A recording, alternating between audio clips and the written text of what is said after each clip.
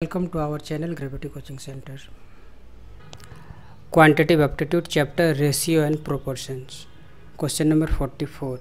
The smallest integer which subtracted from both the terms of 6 ratio 7 gives a ratio less than 16 is to 21 is.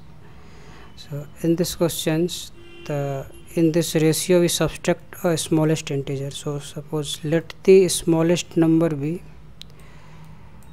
let the required smallest number be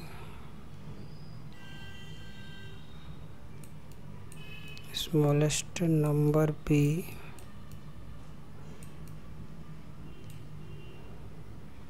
six bx and according to question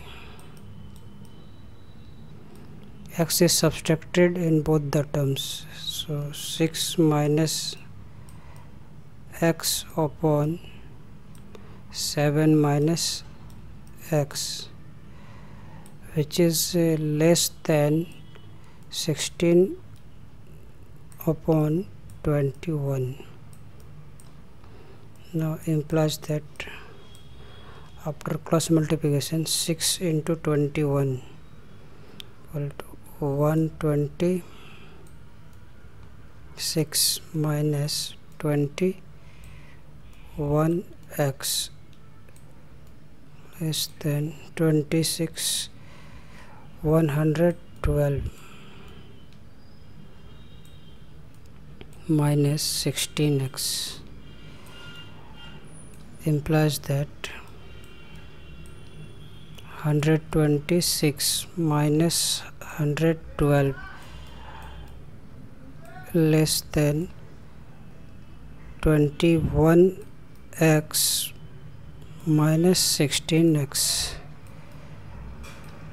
then after subtracting 14k